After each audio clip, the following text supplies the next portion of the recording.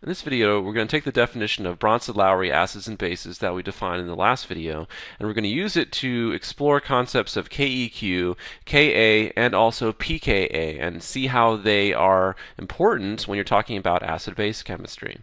So here we have a generic acid-base reaction that uses the Bronsted-Lowry definition. So HA is our generic acid. It's going to donate a proton to H2O. So H2O is our Bronsted-Lowry base.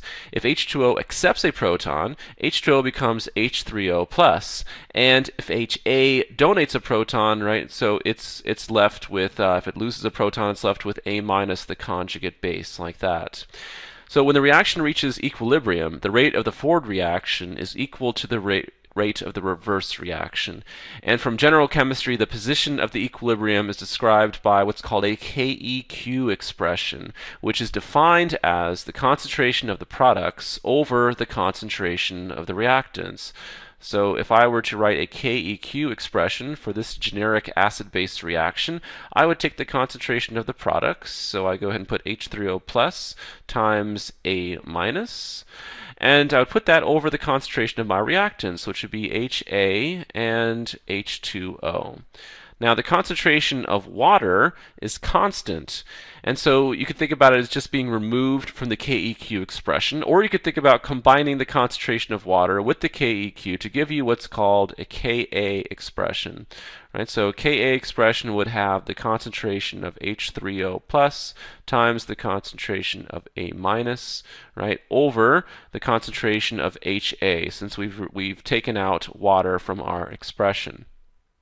Now, the usefulness of a Ka expression, I, I, think it's much more obvious when you apply it to an actual reaction. So the one we talked about in the last video, right, had H2O and HCl, where HCl donated a proton to H2O, right? And this reaction is technically at equilibrium, but the equilibrium lies to the right here. So H2O would become H3O plus, right? So it gained a proton. And if HCl loses a proton, it would be Cl minus. And so we talked about the equilibrium lying to the right, which would mean that we would get a way more products than reactants. And so if we go ahead and write the Ka expression for this acid-base reaction, right, so let's go ahead and do it. The Ka expression is equal to the concentration of my products over my concentration of the reactants. So for this reaction, the Ka would be equal to H3O plus times the concentration of Cl minus right, all over the concentration of HCl.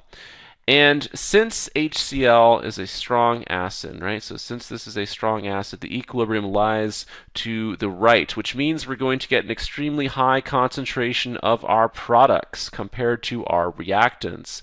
And so uh, the actual number turns out to be approximately 10 to the 7th for the concentration of my products using my Ka expression over 1. So 10 to the 7th over 1. So 10 to the 7th is an extremely large number which again makes sense because HCl is so strong, we're going to get a very high concentration of products to reactants. And that's what the Ka expression does. It, it tells you, it gives you a relative idea um, about the strength of the acid. And in this case, HCl is very strong. So HCl is strong. We know this just by looking at the Ka expression, getting a value of 10 to the 7th over 1.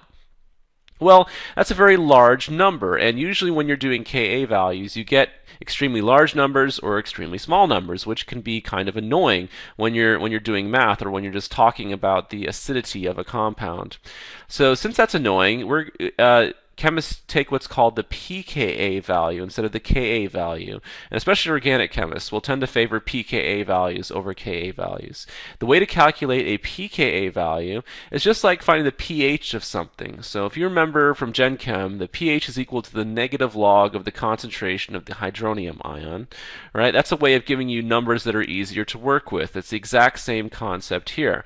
So if I wanted to find the pKa, right, the pKa would be equal to the negative log of the Ka. So the negative log of the Ka. So for HCl, we would plug in our number here. So we would plug in 10 to the 7th. All right, so let's go ahead and do that calculation. So if we plugged in 10 to the 10 to the 7th, the pKa would be equal to the negative log of 10 to the 7th, which is equal to negative 7. So you could say that the pKa of HCl is equal to negative 7, which is, again, a number that's easier to work with than 10 to the 7th. And so using, using the pKa uh, way of doing it, you're going to get a range of pKa's of approximately negative 10 to approximately 50. And so all of the compounds that you discuss are, are usually going to be in this range. And so once again, it's just much easier to work with. Now mathematically, the higher the higher this number is, right? So this number right here, 10 to the 7th, right? The lower the value you're going to get for your pKa. And so that allows you to realize that the, the mathematically the the stronger the acid, the lower the pKa value that you are going to get. And so conversely, the, the weaker the acid, the higher the pKa value that you will get. So when you're trying to compare two molecules, in terms of acidity, right, if you look at their pKa values, the molecule with the lower pKa value is going to be the stronger acid. So let's go ahead and do an example we can see how to apply this skill. If we took uh, if we took the ethane molecule, right? So ethane would be C2H6. So go ahead and put in these hydrogens here like that. If we were comparing ethane to ethanol, let's go ahead and draw ethanol now. So ethanol is a very similar molecule. The only difference is there's going to be an oxygen and there's going to be right? Hydrogen on that oxygen here. So here are two dot structures. And if we're thinking about the acidity of these two molecules, right, if we look at the molecule on the left for ethane, all of these hydrogens are equivalent. So in terms of donating a proton, I could say that this could be the proton that's donated. When you look at ethanol, all of the all of the hydrogens are not equivalent. If you think about acid-base chemistry, this is going to be the acidic proton. And the measured pKa values for these molecules, ethane turns out to have a pKa of approximately 50, and ethanol has a pKa value of approximately 16. So thinking about the math, remember the lower the lower the pKa value, the stronger the acid. And so ethanol is a stronger acid, right? So ethanol is a stronger acid than, e than, ethane.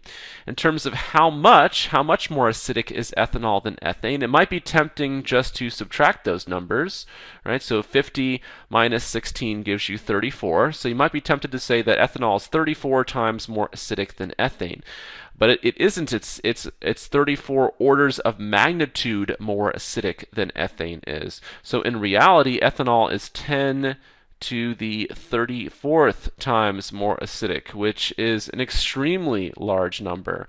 And so, for all practical purposes, um, ethanol is, is, is, is acidic, but ethane is not acidic at all. And again, these are relative values, right? So, so ethanol ethanol is much more acidic than ethane, but ethanol is not anywhere near as acidic as HCl is. So HCl is considered to be a strong acid, ethanol is not considered to be a strong acid, and ethane is not considered to really be an acid at all. But remember, these values are all relative.